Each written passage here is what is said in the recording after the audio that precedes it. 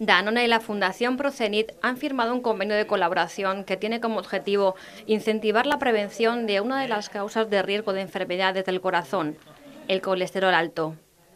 Pues eh, la Fundación Procenic tiene entre sus misiones, una de sus misiones fundamentales es la de eh, promover hábitos cardiosaludables en nuestra sociedad. En este sentido, el, el, convenio que hemos firmado hoy con Danone nos va a permitir una mayor divulgación de nuestra aplicación, el Círculo de la Salud. Este acuerdo ratifica la apuesta de Danone por la promoción de los hábitos de vida saludables a través de la alimentación y el ejercicio físico.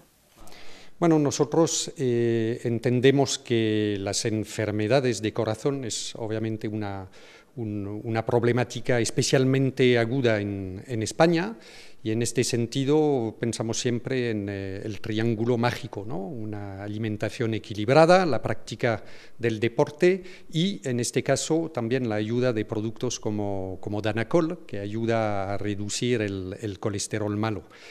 La firma del convenio tuvo lugar en la sede de la Fundación Procenit y contó con la presencia del doctor Valentín Fuster, quien resaltó la importancia de que el sector privado comparta la responsabilidad que implica el cuidado de la salud cardiovascular de la ciudadanía.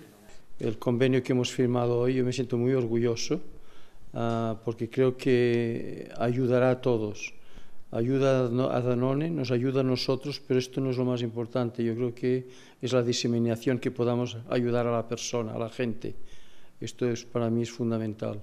Para ayudar en la prevención, Danacol colaborará además en la difusión del Círculo de la Salud, una aplicación móvil concebida por el doctor Valentín Fuster. La aplicación evalúa el estado de salud cardiovascular del usuario, proporciona varios consejos sobre cómo prevenir los factores de riesgo y plantea retos semanales con los que tener una vida mucho más saludable.